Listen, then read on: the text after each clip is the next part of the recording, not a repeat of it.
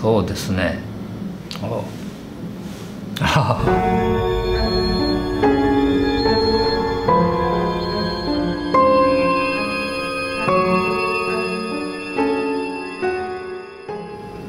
いやこれはあのとっても好きなあの絵ですね。あのとっても幻想的でしかも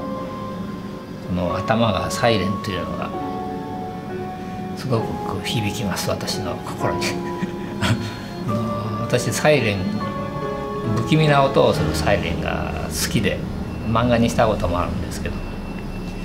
そういったなんかそのサイレンの不気味な音が聞こえてきそうでとてもいいいいと思います、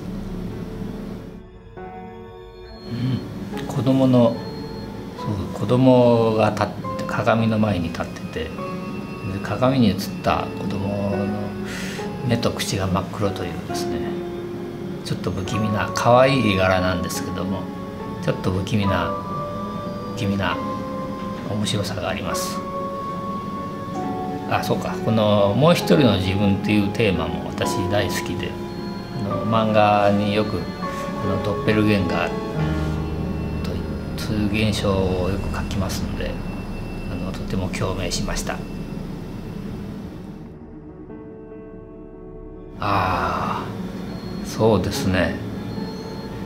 これもあの怖いというよりは幻想的な面白さを感じますね。うん、不思不思議な絵だと思います。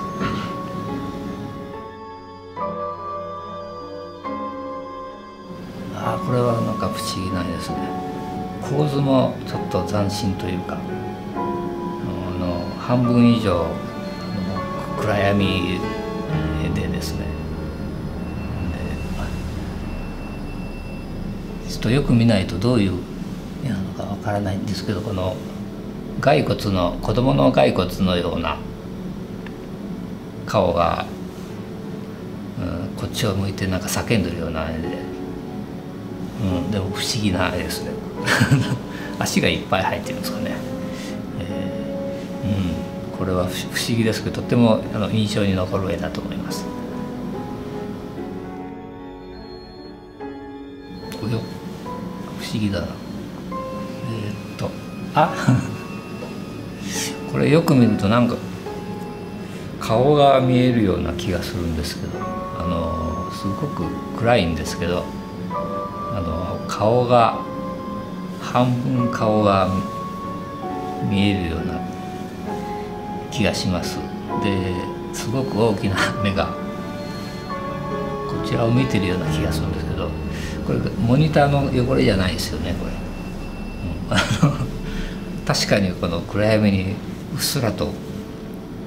女の幽霊のような顔が あの最初絵が映ってないのかと思ったんですけどよく見たらよく見たらあっていうあの気が付いたっていうのが非常にあの怖いですね。気が付いた時にわーっていう一種の心霊写真のような怖さがありますね。あこれはあの本格的なモンスターを描かれてますね。あなんかあそうだ。なんか。ちょっとギーガーを思わせるような絵で、えー、顔もすごく迫力がありますし。あのちょっと骸骨に骸骨で構成されたようなあの体がとてもいいですね、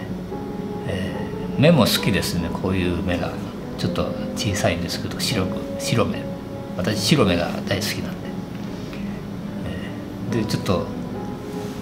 化け物がいる場所もなんかなどっかのあの古い、えー、廃屋のなんか廊下みたいな感じで場所もばっちりあの怖いですしあのとってもあそうなんかこれを主人公にして映画を撮ったら面白いんじゃないかなと思いました。ああこれはコウモリのお化け。ですね、目が赤くて。私もねコウモリあの結構好きで漫画に書いたことありますけどこれも本格的なあのコウモリのモンスターという感じで、うん、このポーズもいいですね、うん、目がこう光ってちょっとあの動いてるっていうかその描写もとても効果的だと思います。これも映画にするといいんじゃないですかね。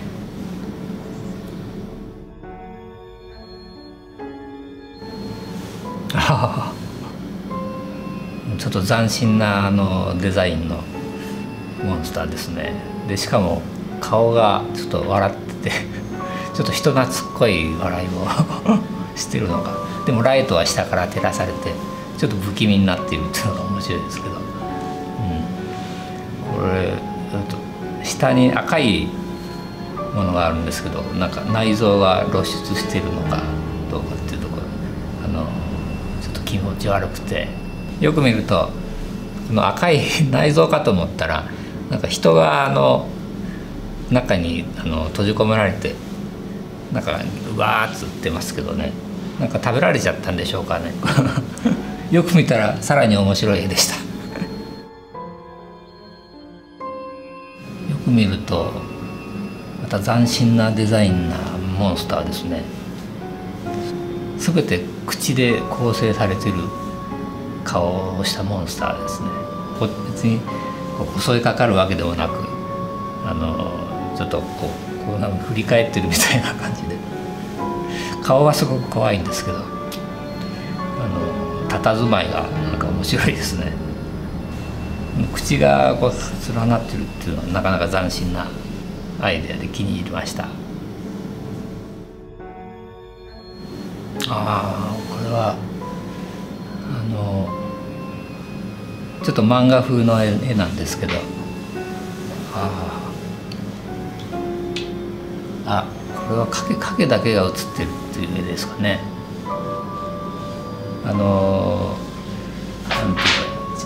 ジャパニーズホラーというかジャパニーズホラーに通じるような怖さがありますね。あそうだなんか黒沢清監督の「カイロ」っていう映画があるんですけども人間があの影のようになってすあの散っていってしまうというそういう映画がありましたけどそれを思い出していいですね、うん、これでもちょっとなんか、漫画風な絵でもありますね、うん、怖いですねこれはね。やっぱり心霊写真みたいで怖いと思いました。